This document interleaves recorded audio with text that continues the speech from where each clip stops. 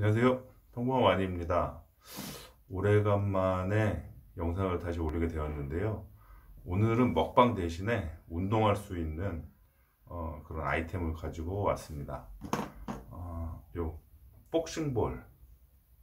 복싱볼이라는 건데요. 이게 그 동체 시력을 어, 증가시켜 주는 그런 운동이라고 합니다.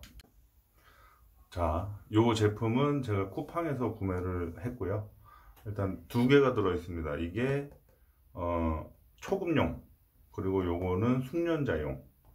그러면 한번 테스트 해 보도록 하겠습니다. 자 일단 착용을 하게 되면 요, 요런 모양이 되고요. 한번 해 보도록 하겠습니다.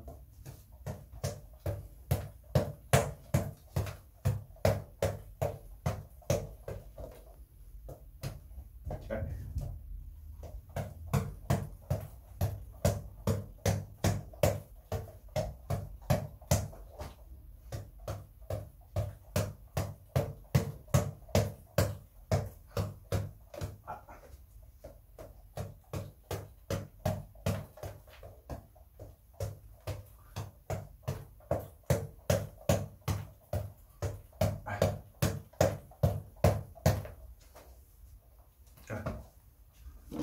이렇게 잠깐 해봤는데요.